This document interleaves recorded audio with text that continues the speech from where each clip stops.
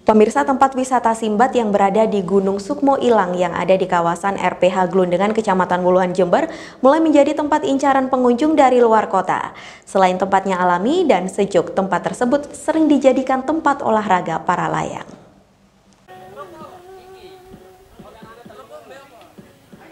Sambil menikmati keindahan alam yang masih asri di lokasi hutan jati milik perhutani, Sekelompok para layang sayap elang dari Malang, Jawa Timur terbang secara bergantian dari ketinggian 200 meter di Gunung Sukmo Ilang, Kecamatan Wuluhan.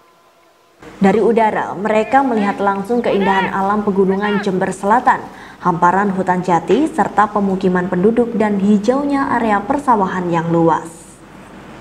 Pelatih Ridwan Asnan mengaku bahwa tempat wisata Simbat yang ada di Gunung Sukmo Ilang milik RPH Glundengan Kecamatan Wuluhan sangat potensial untuk dijadikan tempat berlatih para layang. Namun selain itu juga perlu adanya perbaikan akses jalan menuju puncak agar banyak penghobi olahraga para layang berlatih di tempat ini. Terlebih bisa meningkatkan potensi wisata di wilayah setempat. Nantinya Ridwan Asnan bersama tim sayap elang akan sering datang ke tempat tersebut. Bagus, cocok. Tinggal kendalanya uh, apa itu tempat take off-nya sama jalan aksesnya. Hmm. Itu aja. Kalau ketinggiannya bagus, tempat landingnya bagus, anginnya ya bagus. Ini sekarang sebenarnya pas aturannya angin barat sama selatan hmm. tenggara itu. Pas angin lagi rupanya lagi malu-malu dia. Terutama kesehatan, ya, jam terbang.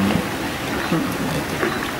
Ini ketinggiannya ini kalau selisih ketinggian ini sekitar 150 sampai 200, 200 meter. meter. Ya. Eh, di tempat simbat ini cocok gak dibuat event nantinya?